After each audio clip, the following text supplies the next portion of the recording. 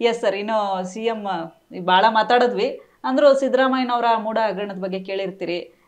ಭಾಳ ಜಗ ಅಗ್ಗ ಜಗಾಟ ನಡೀತಾ ಇದೆ ಕುರ್ಚಿಗೋಸ್ಕರ. ಈಗ ಅವ್ರು ಸಿ ಎಂ ಆಗಿರೋದು ಅವ್ರು ಅವ್ರಿದ್ರೆ ಒಳ್ಳೇದಾ ಅಥವಾ ಹೇಗೆ ಅಂತ ಏನು ಹೇಳ್ತೀರಿ ಅಂತ? ಅಟ್ಲೀಸ್ಟ್ ಈ ರೈತರ ಪರವಾಗಿ ಈ ಸರ್ಕಾರ ಬಂದರೆ ಏನೋ ಒಂಚೂರು ಓಕೆ ಅಪ್ಪ ಮಾಡ್ತಾರೆ. ಈ ನಾಯಕರು ಬಂದ್ರಾದ್ರೂ ಓಕೆ ಅನ್ನೋದು ಮನಸ್ಸಲ್ಲಿ ಇದೆ ಏನೋ ಮಾಡ್ಲೇ ಇಲ್ಲಲ್ಲಮ್ಮ. ಕೊಟ್ಟು ಮಾತಿಗೆ ತಪ್ಪಿದ್ನಲ್ಲ ಸಿದ್ದರಾಮಯ್ಯ ನಮ್ಗೆ. ಹಾ ಹಾ ಹಾ ಹಾ. ಅವ್ರ ಮೇಲೂ ನಂಬಿಕೆ ಇಲ್ಲ ಈಗ. ಕೊಟ್ಟು ಮಾತು ಉಳಿದೈತಾ? ಅಧಿಕಾರಕ್ಕೆ ಬಂದು ಎಷ್ಟು ದಿವಸ ಆಯ್ತು? ಉಳಿಸ್ಕೊಂಡಿದ್ಯಾ? ಇಲ್ಲ. ಆದ್ರೆ ಒಂದು ಮೂಡಾದು ಪ್ರಸ್ತಾಪ ಮಾಡಿದ್ರಿ. ನಾನು ಈಗಾಗಲೇ ಒಂದೂವರೆ ತಿಂಗಳ ಹಿಂದೆನೇ ಹೇಳಿದ್ದೆ. ಅಡ್ವೈಸ್ ಮಾಡಿದ್ದೆ ಸಿ ಎಂಗೆ ನೋಡಪ್ಪ ಹಳೆ ಮಿತ್ರರು ನಮಗೆ ನೀವು. ರೈತ ಚಳುವಳಿಯಲ್ಲಿದ್ದಾಗ ನಿಮ್ಮ ಬಗ್ಗೆ ಭಾಳ ವಿಶ್ವಾಸ. ರಾಜಕಾರಣಕ್ಕೆ ಬಂದು ನೀ ಎತ್ತರಕ್ಕೆ ಬೆಳೆದಿದೆಯಾ ತುಂಬ ಸಂತೋಷ ಈ ಎಲ್ಲ ವಿಶ್ವಾಸ ಇಟ್ಕೊಂಡು ಅವ್ರಿಗೊಂದು ಅಡ್ವೈಸ್ ಮಾಡಿದೆ. ಮೂಡಾದ್ದು ಡಿಪೆಂಡ್ ಮಾಡಿಕೊಂಡು ಮಾತಾಡೋಕ್ಕೆ ಹೋಗಬೇಡಿ. ಸಿಂಪಲ್ ಥೇರಿ ಒಂದಿದೆ. ಅದನ್ನು ಫಾಲೋ ಮಾಡಿ ಅಂತ ಹೇಳಿ. ಮೂಡಾದ್ದು ಸಮಸ್ಯೆಗೆ ಪರಿಹಾರ ಇದ್ದಿದ್ದು ಒಂದೇ. ಸಿದ್ದರಾಮಯ್ಯ ಎಲ್ಲೋ ದುಬಾಯಿಯಿಂದ ಯಾವುದೋ ಒಂದು ವಾಚ್ ಕಟ್ಕೊಂಡ್ಬಂದೆ ಬಂದೆ ಕಟ್ಕೊಂಡಿದ್ರು. ಡೈಮಂಡ್ ಇದೆಲ್ಲ ಹಾಕಿದ್ದು. ಬಹಳ ತುಂಬಾ ಬೆಲೆ ಬಾಳೋ ವಾಚ್ ಕಟ್ಟಿದ್ದು.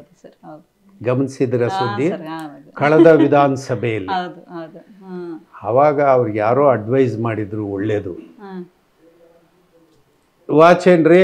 ಯಾಕ್ರಿ ಇಷ್ಟೆಲ್ಲ ಇದ್ರ ಮೇಲೆ ಚರ್ಚೆ ಮಾಡ್ತೀರಿ? ಇವತ್ತಿಂದ ಇದು ಸರ್ಕಾರದ ಆಸ್ತಿ ಕಣ್ರಿ. ಸರ್ಕಾರ ಮುಟ್ಗೋಲ್ ಹಾಕೊಂಬಿಡ್ರಿ ಅಂತ ಹೇಳಿ ತಾನು ಕಟ್ಟಿದ ವಾಚನ್ನ ಬಿಚ್ಕೊಟ್ಬಿಟ್ರು.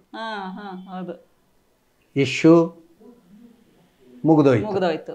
ಹೌದ್ ತಾನೆ? ಹೌದು ಹೌದು ಸರ್ ಹೌದು. ಈಗಲೂ ಸಿದ್ದರಾಮಯ್ಯ ನಿನಗೆ ಇದ್ದಿದ್ದ ಆಪ್ಷನ್ಸ್ ಅದೇ ಇದ್ಯಾವ್ದು ಹದಿನಾಲ್ಕು ಸೈಟು ನೀನು ಕೇಳಿದರೆ ಸಾವಿರ ಸೈಟನ್ನು ಕೊಡುವಂಥ ಕರ್ನಾಟಕದ ಜನ ಇದ್ದಾರೆ ಅದನ್ನು ಬಿಟ್ಬಿಟ್ಟು ಯಾವುದೋ ಹದಿನಾಲ್ಕು ಸೈಟನ್ನು ನೀನು ಡಿಪೆಂಡ್ ಮಾಡಿಕೊಂಡು ಆ ಯಾವನೋ ಬಾಮ ಇದನ್ನು ನೀನು ಡಿಪೆಂಡ್ ಮಾಡಿಕೊಂಡು ಆ ಅರವತ್ತೆರಡು ಕೋಟಿ ಬರಬೇಕು ಅಂಥೇಳಿ ಹೇಳಿ ಮಾತಾಡಕ್ ಅಲ್ಲ ಇದೇ ನಿನ್ನ ಮೂರ್ಖತನ. ಆಗಲೂ ಕೂಡ ಇದ್ದಿದ್ದು ಹದಿನಾಲ್ಕು ಸೈಟ್ ಯಾಕ್ರಿ? ಇದೇನ್ರಿ ದೊಡ್ಡ ಸಮಸ್ಯೆ? ಆಯಿತು ಇದು ಮೂಡಾದ್ದು. ಮೂಡಾದ್ದಪ್ಪ ನಾನು ಹೇಳ್ತಾ ಇದ್ದೀನಿ ನಾನು ಹೇಳ್ತಾ ಇದ್ದೀನಿ ನನ್ನ ಹೆಂಡ್ತಿ ತಪ್ಪು ಅಥವಾ ನಮ್ಮ ಬಾಮೈದನ್ ತಪ್ಪು ತಪ್ಪೋ ಅಥವಾ ಕೊಟ್ಟವನ್ ತಪ್ಪೋ ಯಾವನೋ ಡಾಕ್ಯುಮೆಂಟ್ ಮಾಡಿ ಕೊಟ್ಟವನ್ ತಪ್ಪೋ ಯಾವುದೋ ತಪ್ಪು. ಇದಕ್ಕೆ ಪರಿಹಾರ?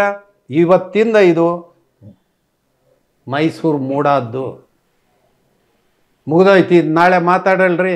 ಇವತ್ತ ಸರ್ಕಾರದವ್ರು ನಿಮ್ಗೆ ತಗೊಂಬಿಡ್ರಿ ಅಂತ. ಮುಗ್ದೋಯ್ತಲ್ಲ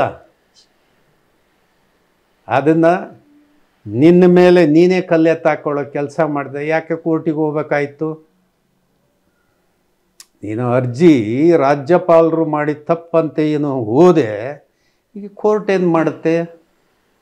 ಎಲ್ಲ ತರ್ಕಬದ್ಧವಾಗಿ ಎಲ್ಲರ ವಿಷಯಗಳನ್ನು ತರ್ಕಬದ್ಧವಾಗಿ ಕೇಳಿಸ್ಕೊಂಡಿದೆ. ಈಗ ರಾಜ್ಯಪಾಲ ಆದೇಶ ಮಾಡಿರೋದೇನು? ಸಿದ್ದರಾಮಯ್ಯನ ಆಸ್ತಿ ಪಾಸ್ತಿ ಎಲ್ಲ ಸರ್ಕಾರದ್ದು ಅಂತ ಏನು ಘೋಷಣೆ ಮಾಡಿದಾರ? ಇಲ್ವಲ್ಲ? ಅದನ್ನು ನ್ಯಾಯ ಸುಳ್ಳೋ ನಿಜನೋ ಒಂಚೂರು ತನಿಖೆ ಮಾಡ್ರಪ್ಪ ಅಂತ ಹೇಳ್ತಾರೆ ಅಷ್ಟೇ. ಅದು ತಪ್ಪಂತ ಹೆಂಗೆ ಹೇಳೋಕ್ಕಾಗತ್ತೆ? ಈಗ ಇಲ್ಲಿಗೆ ಬಂದು ತಗಲಾಕೊಳ್ಳುವಂಥ ಕೆಲಸ ನೀವೇ ಮಾಡಿಕೊಂಡಿದ್ದು ಪಶ್ಚಾತ್ತಾಪ ನೀವೇ ಪಡಬೇಕು ನೀವೇ ಪರಿಹಾರ ದಾರಿ ಹುಡುಕೊಳ್ಳಿ ಅಂತ ನಾನು ಸಲಹೆ ಕೊಡ್ತೀನಿ. ಓಕೆ.